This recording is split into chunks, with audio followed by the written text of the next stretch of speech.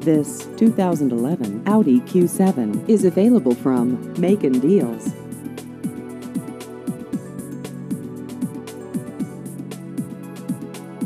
This vehicle has just over 41,000 miles.